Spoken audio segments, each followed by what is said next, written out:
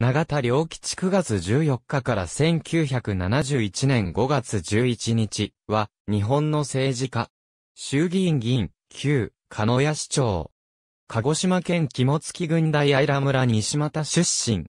大愛良村会議員、大愛良村長、鹿児島県議会議員を経て、衆議院議員、鹿屋市長を歴任した。通称、飛行機代議士、西岸代議士。現在の海上自衛隊鹿屋航空基地をはじめ、高熊ダムや星塚系愛園を鹿屋市へ誘致した人物である。1886年9月14日の午前9時に、長田助太郎の三男、三人兄弟の末っ子として、誕生。長田家は、西又の大地主であったが、士族ではなく平民の身分であった。1893年、西又簡易小学校へ入学するが、同年中に南小学校に統合され、長野伝の者は鹿屋村の田崎尋常小学校へ転校することになった。ところが江野田で赤痢が流行し、田崎小学校の関係者が感染拡大を嫌ったため、愛良村の愛良尋常小学校へ再転校した。卒業後は、鹿屋農学校を経て、3年時に、県立家敷中学校へ転校し、1906年3月に5番目の成績で卒業する。1906年4月からは、南尋常小学校で8ヶ月ほど、代用教員を務め、1年志願兵制度を用いて、兵役に従事する。1908年11月に愛良村、士族、朝倉岩との四女、鶴松と結婚。1909年からは、愛良尋常小学校の代用教員を3年間、務めた。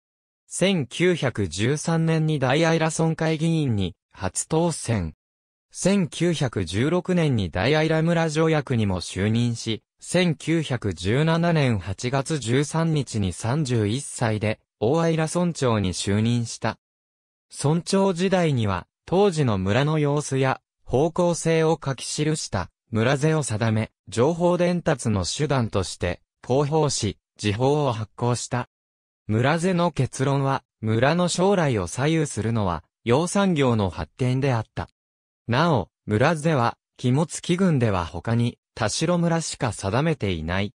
1919年9月25日の県議会選挙にて、肝付郡選挙区から出馬し2位で、初当選。4年後にはトップで再選される。1924年第15回衆議院議員、総選挙出馬のため辞職するも落選。借金区により母、塩がこの年の6月7日以来、3度の自殺未遂を図っている。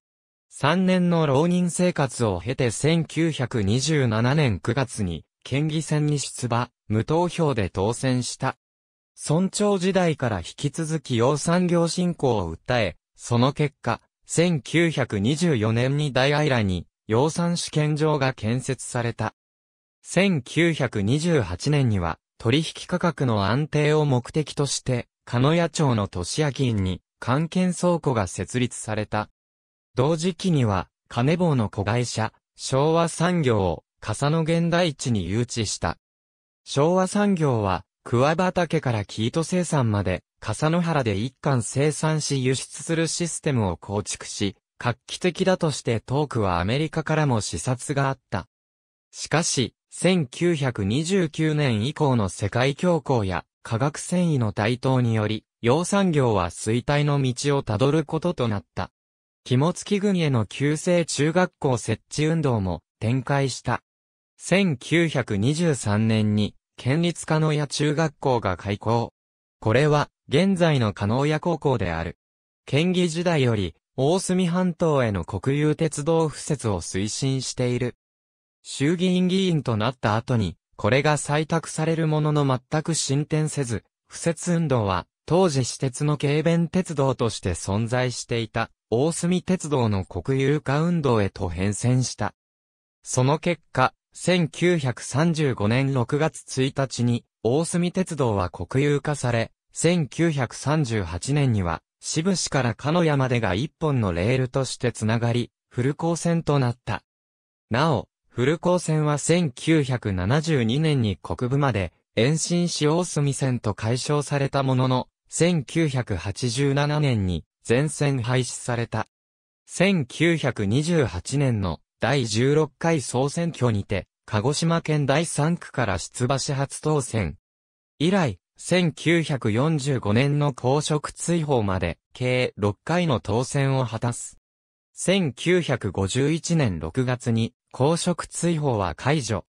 翌1952年、第25回総選挙にて、鹿児島県第3区から衆議院議員への復帰を果たす。1953年のバカ野郎解散後の第26回総選挙にも再選されたが、1955年の天の声解散後の第27回総選挙では、自由党への逆風の煽りを受け落選する。1943年11月に衆議院議員と兼任する形で、鹿屋市長に就任。1945年の終戦後、最初のアメリカ軍新中地として、厚木と鹿屋が選定され、鹿屋側の代表として、アメリカ軍と接触に当たった。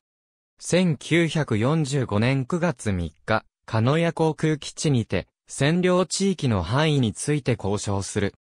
この際に、長田が、神風特攻隊崩れが、高愛山に2000人やら3000人はいると脅しをかけ、その後の交渉を優位に持ち込んでいる。その翌日に、金浜海岸から新中軍が上陸した。国内各地の新中地では、新中軍による凶悪事件が相次いだが、鹿屋では窃盗程度で済んだとされている。公職追放により1946年10月15日に市長を辞職。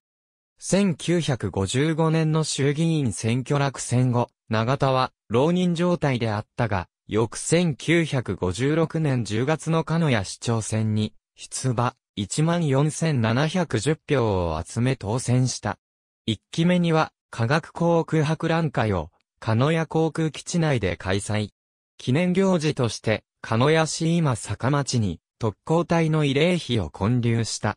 博覧会では300万円の赤字を計上している。また、衆議院議員時代からの高熊ダム建設、笠野原大地の二十歳灌漑運動も進めていった。同運動では集落を2分する騒動となったが、1962年に一応の決着がつき、1982年に工事が完了した。鹿屋市役所前の共造ベテランの域に達していた長田ではあったが、2期目では、いわゆる、老害ぶりが顕著となる。すなわち、長田の答弁によって議論がうやむやとなり、日本社会党からは、不信任案が提出されるほどであった。こうしたことから1964年の選挙への出馬は、周囲が断念させ、78歳をもって政界から引退した。引退直後に、鹿屋市発の名誉市民に選出され、1967年には、市役所前に共造が建立された。1964年の引退後は、隠居状態であった。1971年5月11日午前7時、鹿屋市長野田町の自宅にて死去。翌12日に自宅にて葬儀が行われ、14日には池の上公園の体育館にて思想が取り行われた。村議会議員時代の1917年、鹿児島市の天保山にて、鹿児島新聞により開催された、非公開を観覧する。この時に、これからの戦争は、飛行機が勝敗を決めると直感したことが、後に飛行機代議士と呼ばれるきっかけとなった。1922年8月に、鹿屋町の笠野原に民営飛行場が完成。しかし、最初に飛行機が飛来したのはそれから3年後の1925年2月17日であった。衆議院議員となった後も航空隊の誘致運動を継続し、1936年4月の鹿屋海軍航空隊解体に至った。1931年には航空問題について当時の浜口友好首相と討論している。この時に永田は、これからの戦争は飛行機が中心、今のうちに航空力を整備して、制空権を獲得しておくべきと主張したが、当時の首脳陣、軍部からは全く相手にされなかった。1930年代当時の日本において、同様の主張は極めて少数派であり、アメリカの圧倒的な航空力に屈した戦後になって、ようやく受け入れられることとなる。ありがとうございます。